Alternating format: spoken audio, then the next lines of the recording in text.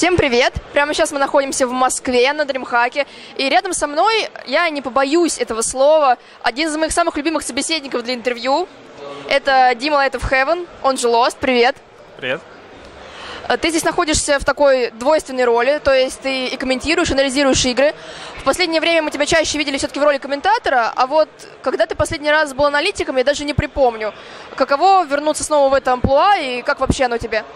Но если так честно сказать, то мне аналитика по душе больше, потому что мы, как задроты, в этом деле получше себя чувствуем. То есть, если брать комментирование, то нужно обладать ораторским искусством. Это то, что я сейчас изучаю. Нужно очень хорошо постановленная речь, четкая дикция. И для этого, ну вот, многие задроты сейчас, они себя в этом плане нарабатывают. Вот. Ну, в то время как аналитика, она немного требует для подобного. Ты можешь просто выйти и кратко пройтись вот по всем этим э, фишечкам, которые там произош- произошли в игре, и это сказать довольно-таки про- просто.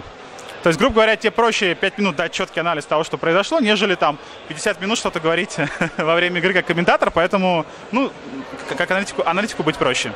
Ты в последних интервью очень часто говорил о том, что занимаешься речью. Вот э, сейчас тоже упомянул про ораторское искусство. И как давно ты это делаешь, и чувствуешь ли ты прогресс? Ну, когда мы начали, когда мы комментировали, э, вот как вот на International с э, кулдауном там в, 3 в 2-3 часа, э, мы постоянно менялись, то там это не сильно чувствовалось, потому что почти любой человек, два- человек может выйти и 2-3 часа спокойно поразговаривать. Но когда вот мы покомментировали некоторые ланчики, которые длились 12 с лишним часов, тогда уже было видно, что ты устаешь. А, как известно, лучше всего твоя речь видна, когда ты устал, когда ты там пьяный, когда ты, я не знаю, не можешь там и два слова связать. Вот в этом случае твоя речь, она лучше подвержена испытанию. И вот после этого я понял, что нужно себя, себе выносливость повышать. И как? Какими, какими методами? По чуть-чуть, пока что я знаю, вот там хорошее упражнение с пробкой есть, когда ты вот эти простые выражения говоришь там те-те-те, пе-пе-пе, ну, приятная вещь. Вот. Есть еще интересное упражнение с ручкой. Это когда ты берешь какую-нибудь хорошую скороговорку и стараешься с ручкой вот между зубов э, ее проговаривать. Ну и потихонечку получается. Речь так медленными шагами, но улучшается. Ну, это на самом деле здорово, потому что так-то посмотреть на наших комментаторов некоторых, у них много лет как бы прогресса не наблюдается. А, ты прям... Это, скажем так, то, что каждый берет свои фишечками. То есть некоторые комментаторы берут свои харизмы, некоторые рассказывают хорошие шуточки, некоторые там давят аналитикой, как я, просто до конца, чтобы, чтобы до всех дошло, что аппарат хорош против Дазла, вот, допустим. И, ну, я думаю, что как только пойдет жесткая конкуренция, она, в принципе, уже начинается, то каждый себя улучшать начнет. Вот смотри, постепенно киберспорт выходит на большие экраны, если можно так сказать. То есть запускается телеканал от тех же Game Show, э, планируются какие-то киберспортивные проекты на Матч ТВ, ходят слухи. Э, ты хотел бы вот на таком большом федеральном телевидении, связанном с киберспортом, себя попробовать? Да, было бы здорово. Э, На мой взгляд, киберспорт, он э, очень похож на, на шахматы 21 века. И очень много дисциплин заслуживает того, что вот есть умные ребята, которые играют. И да, может быть, э, сейчас это не супер круто, но, как мы видим, э, комьюнити начинает нас признавать. То есть вице-чемпион по шахматам, я вот недавно новость читал, он будет развивать киберспорт в России, что довольно-таки престижно. Он видит в этом смысл. А, Некоторые организации подтягиваются, вот геймшоу одна из них, которые активно нас продвигают на телеканалы. То есть э, люди перестают бояться машин, мол, что в один момент настанет судный день и Skynet захватит мир. Люди начинают ну, смотреть на, на нашу аудиторию, то, что это вполне адекватные люди, там, да, не задроты в трусах, которые приходят там, из дома. И им приятно, им нравится. Вот.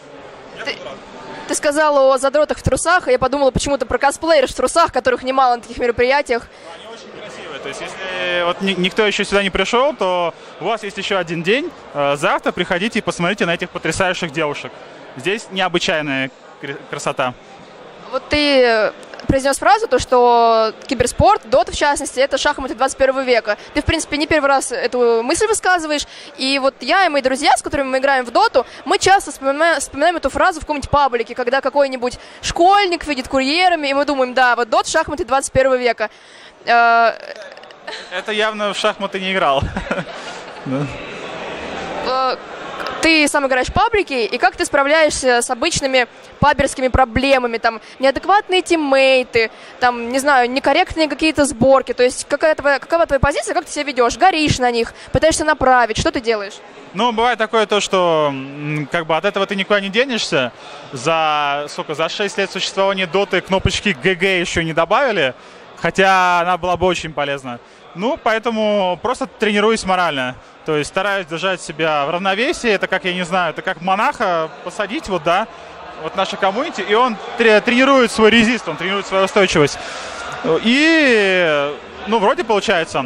Единственное, бывает такое, что начинаю гореть, но нек- некоторые такие вещи происходят, но, ну, я не робот, ничего не поделать. Я предлагаю перейти к вопросам, связанным э, с нашим комьюнити, со всякими животрепещущими ситуациями, которые произошли недавно. Э, в первую очередь я говорю о Кике Лидан из Virtus.pro. Э, как ты относишься к этому шагу? Очень много людей уже высказывали мнение по этому поводу. Инесс очень интересные мысли высказал. Что ты думаешь? Насколько это адекватно, насколько это правильно? А, но если учитывать то, что конфликт нарастал еще вот во время Инта, когда я э, был помощником этой команды, ну, где мы, ну, где, в общем, ВП заняли пятое-шестое место, то могу сказать следующее. Э, Илидан немножко не походит на свою команду, то есть он не отвечал тем стандартам, которые хотели видеть в него команда. То есть это надежность, это сейфовость, это общительность, когда, или там в некоторых моментах молчания, то есть э, Ильдан, он больше такой агрессивный игрок, он нападака, он убивака, он любит сражаться. И в нынешней доте мы всегда видели один такой простой пример. У Virtus.pro все хорошо, у Virtus.pro все идеально. Ильдан топ-1 Networks, Ильдан что делает? Правильно, идет в 1x5 с комментарием, а что они мне сделают? И все преимущество как не бывало. А потом байбекается и снова умирает. Ну, бывает, да, бывают такие замашки, и учитывая то, что был Салент рядом, то они сделали выбор в пользу сейфового кэрри, который больше отвечал им параметрам. Но я думаю, то, что Илья, это не закончено. Уже три раза Илью кикали из ВП, и три, что он возвращался. И велика вероятность, что Илидан, может быть, попадет в, импер... в империю куда-то еще, но похоже, что мне нужно идти работать, потому что матч уже закончился. Да. Можем продолжить потом? Да, я предлагаю так и сделать.